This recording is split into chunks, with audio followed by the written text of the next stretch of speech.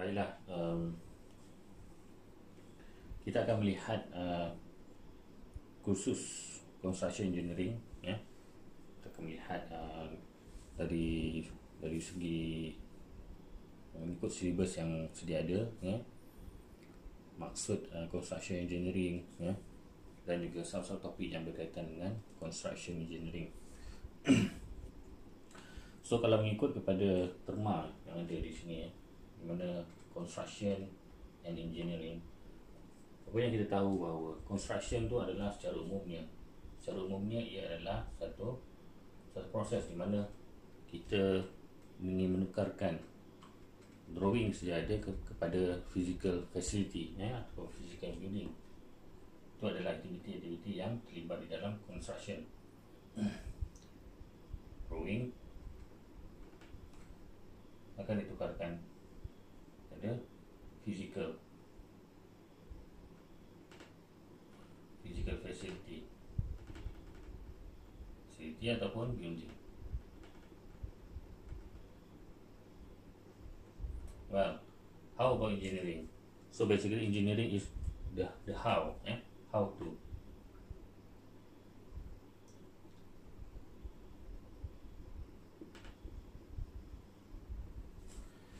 So ia berbeza dengan uh,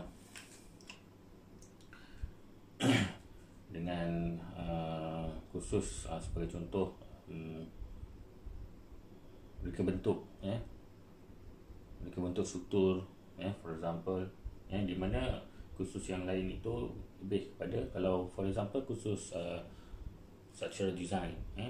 structural design lebih kepada khusus di mana untuk kita design ataupun mereka bentuk sebuah struktur ya. Berapa bata besi yang kita perlukan ya.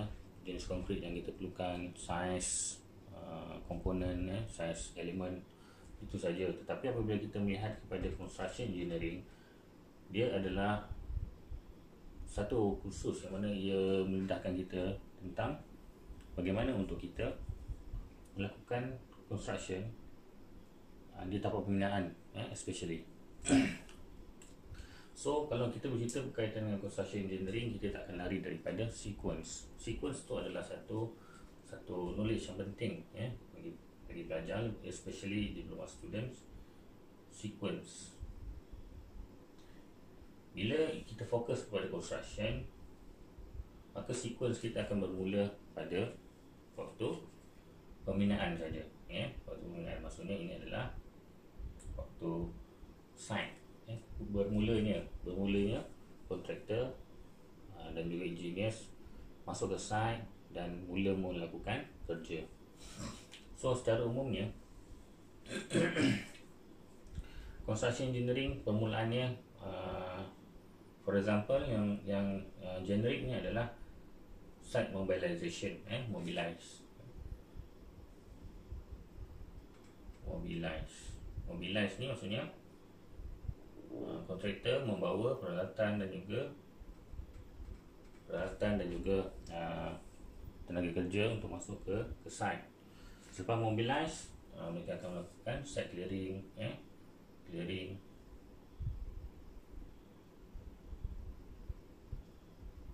Membersihkan site clearing, membersihkan site, ya, yang mana biasanya akan dibersihkan uh, topsoil, ya. akan dibersihkan topsoil Contohnya ini adalah uh, ini adalah lapisan tanah.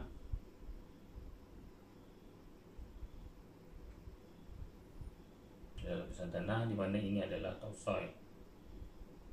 Topsoil yang perlu dibuang. Secara umumnya uh, ketebalan topsoil yang perlu dibuang lebih kurang 150 mm. Tapi ia bergantung juga kepada kepada keperluan di uh, tapak pembinaan tersebut lah eh. kalau diperlukan lebih daripada itu maka dia akan korek lebih. Kalau diperlukan tambahkan maka mereka akan melakukan tambahkan kepada tanah. So basically uh, itu adalah termasuk di dalam clearing proses kemudian mereka akan membuat um,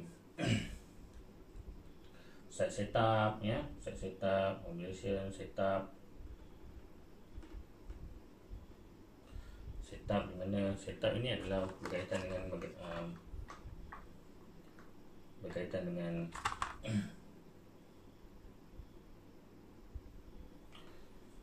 perletakan uh, set office, perletakan uh, rumah kerja kalau ada kantin, parking kereta dan sebagainya lah. Eh, kadang-kadang benda kadang-kadang clearing dan setup ni dia berjalan serentak eh, bergantung kepada macam mana kontraktor tersebut uh, menguruskan eh, tapak pembinaan tersebut and then selepas tu barulah dia buat kerja-kerja substructure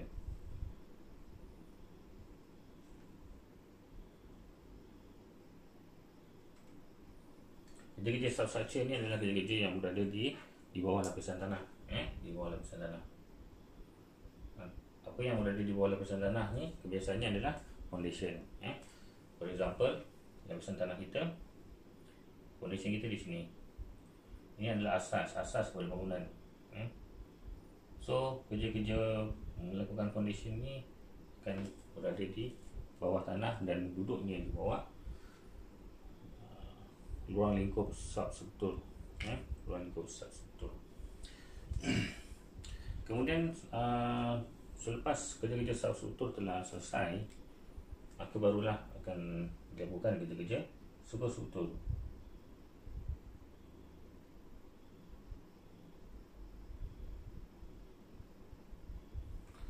kerja-kerja substruktur ni juga termasuk juga dengan kerja-kerja kalau diperlukan kerja-kerja piling eh? kalau saya terlupa kita piling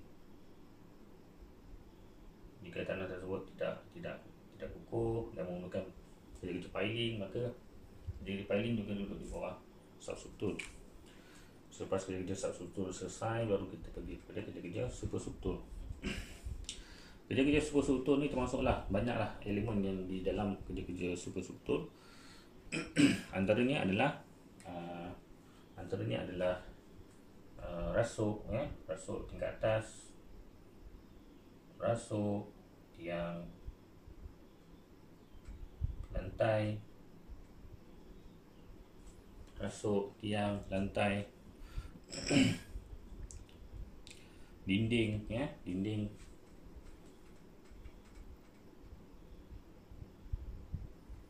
bumbung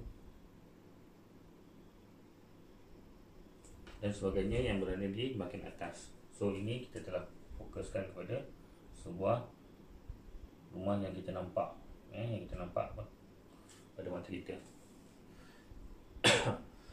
Kemudian selepas kerja sub uh, superstruktur selesai, ya, biasanya kita akan pergi kepada kerja-kerja finishing, kerja kemasan. Kerja-kerja kemasan ini termasuklah pemasangan uh, tile ya tile.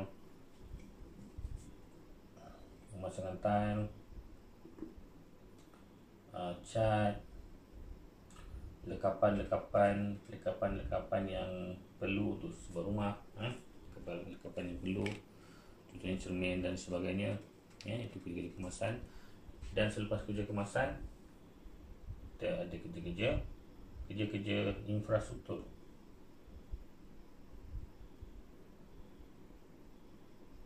kerja-kerja infrastruktur ni termasuk dengan kerja-kerja pembangunan jalan landscape. Dan kerja-kerja yang kita lakukan di luar daripada di luar daripada lingkungan bangunan tersebut. Ha, longkang eh kadang-kadang kerja-kerja kemasan dan kerja infrastruktur dijalankan serentak. Ataupun kadang-kadang kerja infrastruktur dijalankan terlebih dahulu kemudian baru kerja kemasan dan sebagainya. Ia bergantung kepada bagaimana kontraktor tersebut menguruskan site itu. Kemudian akhir sekali barulah uh, barulah uh, selesai lah eh, selesai barulah selesai penggunaan tersebut. So semua ini semua yang ada dalam ini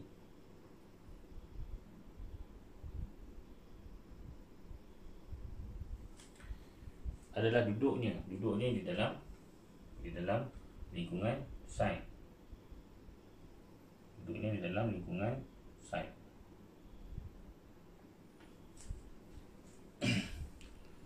Tapak pembinaan ya tapak pembinaan.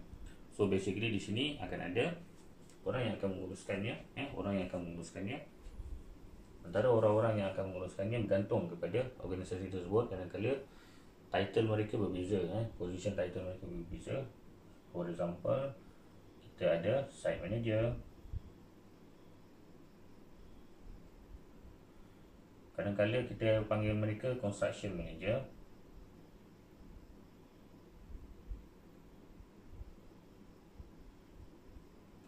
Kadang-kadang um, kebiasaannya itulah dua. Site manager construction manager. Eh site manager construction manager dan mereka akan dibantu oleh biasanya eh yang paling yang paling uh, common adalah site supervisor.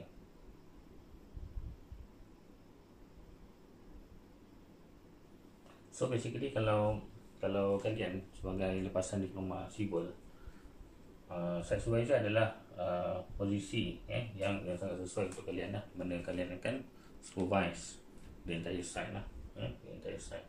Supervise ni maksudnya kalian akan membantu eh akan membantu construction manager ataupun site manager ni untuk supervise site tersebut ya. Supervise atau menyelia eh menyelia. Maksudnya untuk uh, menyelia dan memastikan ya. Menyelia dan memastikan how to ni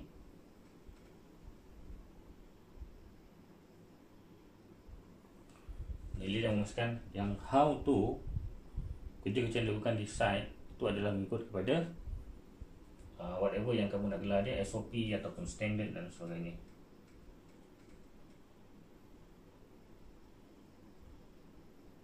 standard dan sebagainya ya yeah kalau kadang-kadang anda akan uh, akan akan terbaca berkenaan dengan uh, PQP. Eh? PQP adalah project quality plan.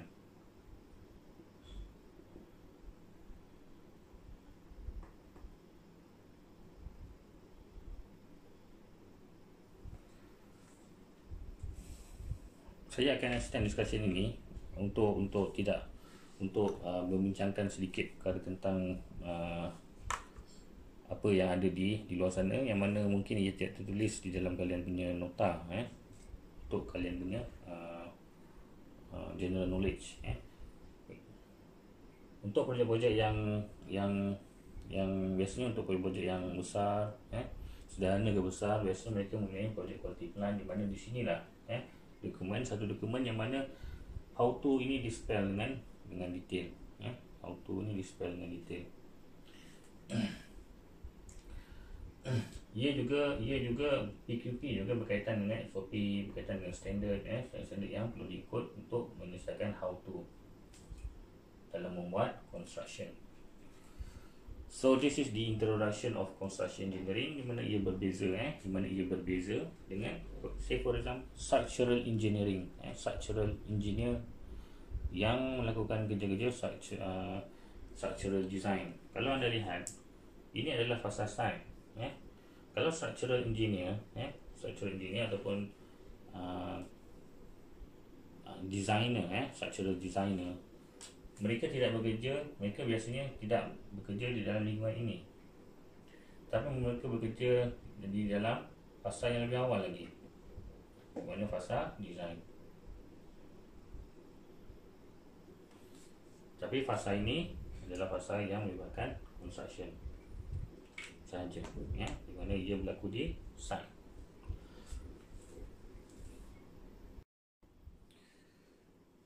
Baiklah. Idea, idea atau knowledge eh, knowledge tentang construction engineering adalah sangat penting eh, sangat penting disebabkan ia berkaitan dengan sequence in construction. So dalam sequence in, in construction yang umum eh, mobilization, clearing, setup, substructure, superstructure, kemasan, infrastructure. So dalam tu ada ada sequence untuk buat rasuk, untuk buat tiang, bagaimana untuk buat lantai, ya. Bagaimana untuk buat substructure, bagaimana untuk uh, buat uh, kerja-kerja piling, nak pilih pile, ya, nak pilih piling jenis apa. Macam mana kita nak buat foundation di substructure, ya, dan sebagainya. So, ia satu ilmu yang luas, ya. Ia satu ilmu yang luas, ya. Tetapi di dalam kita punya syllabus, uh, some of it akan kita discusskan and some of it uh, akan di, dibawa pada uh, syllabus yang yang lain lah eh, dibawa pada syllabus yang lain ataupun dibawa pada peringkat uh, yang berbeza iaitu uh, peringkat degree for example. Perkara-perkara ini penting ya. Perkara-perkara ini penting untuk kita tahu bagaimana untuk how to ini adalah penting ya untuk kita elakkan daripada uh, isu-isu keselamatan ya. Isu keselamatan yang banyak. Yang generik yang berlaku di construction industry apabila how to ini tidak betul eh for example how itu tidak tidak mengikut kepada SOP ataupun standard ataupun projek-projek plan yang telah digariskan. Berkemungkinan besar akan berlaku isu-isu keselamatan eh keselamatan kesihatan dan sebagainya. For example bangunan baru buat uh, superstructure sedikit baru buat tiang dan juga rasuk kemudian roboh. Sebab apa? Sebab how to ini tidak di tidak di observe dengan dengan baik eh. So you as site supervisor perlu memastikan bahawa perlu memastikan bahawa perkara SOP standard eh how to ini dipatuhi ya eh, dipatuhi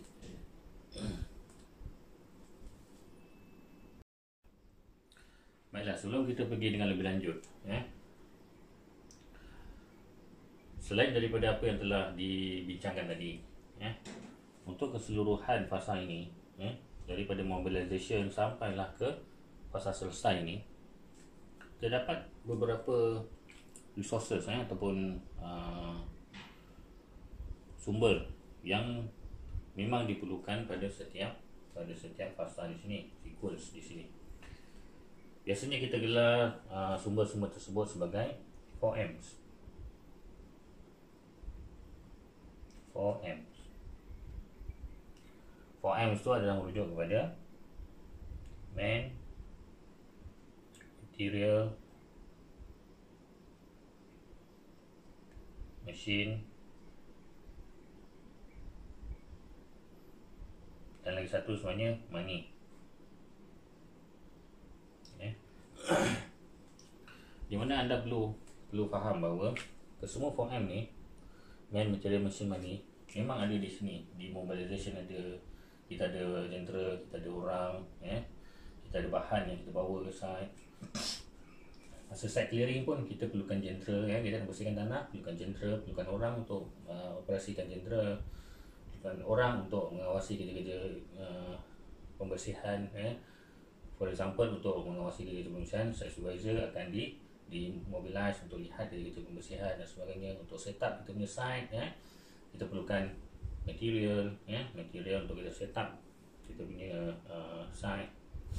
Man untuk bantu set up ya jadi dia substructure substructure kesemuanya perlukan. Uh, penyusunan man material machine money dengan dengan baik. Ini kerana dalam masa yang sama ini perlu dilakukan dengan merujuk kepada how to yang betul ya? Dengan merujuk kepada how to yang betul. Say for example yang uh, katalah kita ambil uh, contoh yang mudah ya. contohnya tiang. Tiang. Untuk membuat tiang konkrit eh, untuk membuat tiang untuk konkrit kita memanglah perlukan material. Kita memang perlukan material. Antara material yang kita perlukan adalah konkrit. Dan kemudian kita perlukan orang untuk menaikkan kita punya tiang konkrit. Dan untuk katakanlah material tu datang dalam bentuk dalam bentuk uh, uh, ready mix ready mix tu adalah konkrit yang telah siap dicampur di kilang dan kemudian terus dihantar ke site. Man pula diperlukan untuk proses penuangan eh, proses penuangan konkrit ke dalam tiang. Katakanlah ini adalah tiang kita.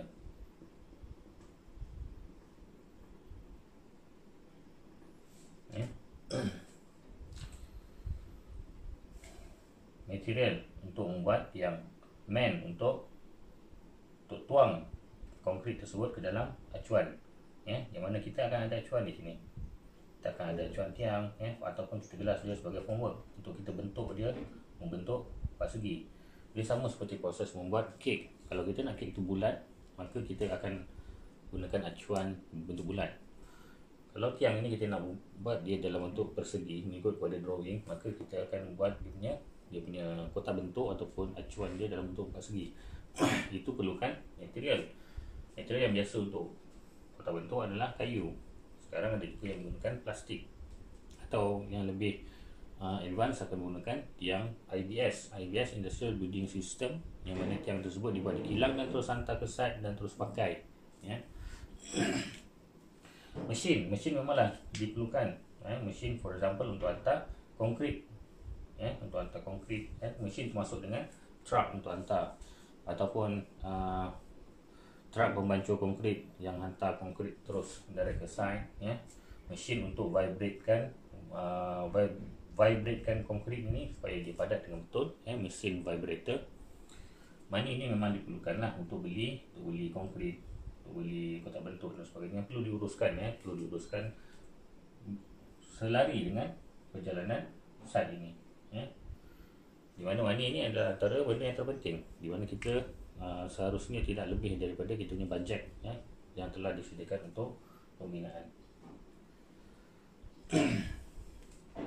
Jadi untuk cek untuk uh, babak yang seterusnya setiap uh, perkara yang dibincangkan akan ada keperluan man, material, mesin dan juga money untuk setiap perkara-perkara ini infrastruktur, kemasan, superstructure, substructure semua ada penggunaan perkara-perkara ini elemen-elemen ini 4Ms yang mana elemen ini perlu disinergiskan eh? Perlu di perlu diselarikan uh, bersama dengan how to untuk bagaimana untuk membuat benda-benda ini ya sama ada ia mengikut pada SOPs ataupun mengikut standards dan juga mengikut pada quality plan contohnya untuk this particular uh, tiang ataupun column ya of course ya kita akan melihat kepada dia punya ketegakan dia ditegak tak ya, itu adalah antara kualiti yang perlu di uh, embed ya, untuk pembinaan-pembinaan yang berbentuk vertikal ya. adakah dia tegak adakah paras uh, pembinaan dia tu cukup? Yang paras pembinaan dia cukup ke? Tegak ke? Dan sebagainya. Itu antara perkara-perkara yang perlu di perlu dipatuhi ya, dalam how to ia termasuk dalam aspek engineering ya. bagaimana untuk pastikan dia tegak ya. bagaimana untuk pastikan uh, ketinggiannya ni cukup dan sebagainya